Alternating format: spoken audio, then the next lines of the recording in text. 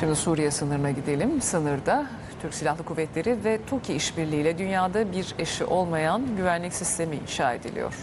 Beton duvarlar tamamlandı şimdi sıra kule karakollarda. Gözetleme ve ani müdahale kuleleri henüz Türk Silahlı Kuvvetlerine teslim edilmedi.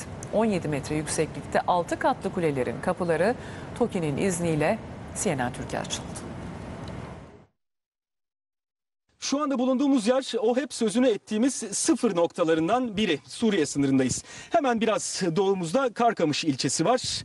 Gaziantep'in Karkamış ilçesi. Hemen batı tarafındaysa Kilis'in Elbeyli ilçesi var. İşte görüyorsunuz Suriye sınırı yaklaşık iki yıl önce başlayan çalışmayla tamamen bu duvarla örülmüş durumda. Her biri 7 tonluk 3 metre yüksekliğindeki duvarlar eğer karşıda bir meskun mahal ya da e, sızma girişimlerinin yoğun yaşandığı bir yer varsa mutlaka bu güçlendirilmiş tel engeliyle sınır güvenliği artırılmış durumda.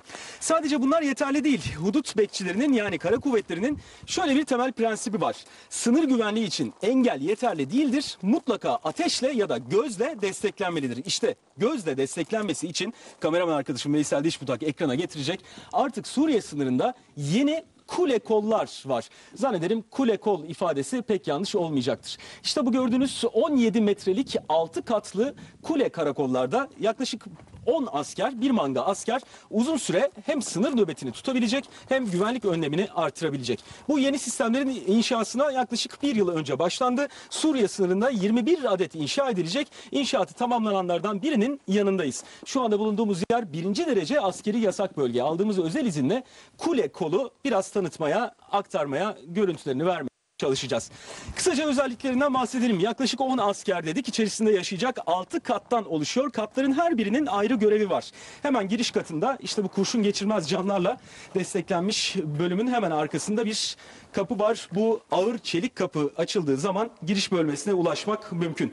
30 santimetre kalınlığındaki beton, modüler beton bloklarla oluşturulmuş bir kuleden söz ediyoruz. Yani dışarıdan gelebilecek herhangi bir patlayıcı ya da herhangi bir e, ateşli silah saldırısı dayanıklı son korunaklı, dayanıklı bir malzemeden, beton bloktan inşa edilmiş durumda.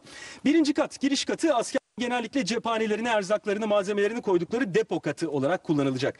İkinci kat askerlerin elektronik sistemleri için bir sistem odası e, şeklinde kullanılacak. Çünkü sistem odasına ihtiyaç var. Zira gözetleme genellikle elektronik sistemlerle yapılacak. Bakın elimde krokis de var. Belki yanında göstermekten daha doğru olacaktır. Silahlığın yani cephaneliğin üzerinde sistem odası, onun üzerinde askerlerin gecelerini geçirdikleri yatak katı bulunuyor. Hemen üzerinde ise günlük yaşamlarını geçirdikleri, içinde küçük bir mutfağın da bulunduğu yaşam katı var. Hemen üzerindeki katsa yine kurşun geçirmez camlarla etrafın rahatlıkla görülebileceği şekilde e, düzenlendiği görülen gözetleme katı var. Gözetleme katının üstünde ise çıplak gözle gözetlemeye imkan sağlayan teras katı olarak da ifade edilebilecek çatının hemen altında bulunan e, bir bölüm var. Bu bölümden de sadece gözetleme değil askerler dışarıya müdahale de edebilecekler. Yani herhangi bir saldırı ya da sızma girişimi olduğunda dur ihtarına uyulmadığında e, askerler en üst kattaki bölgeden ağır silahlarını kullanabilecekler. Sadece ağır silahlarını değil aynı zamanda piyade tüfekleriyle de dışarı müdahale edebilecekler. Bunun için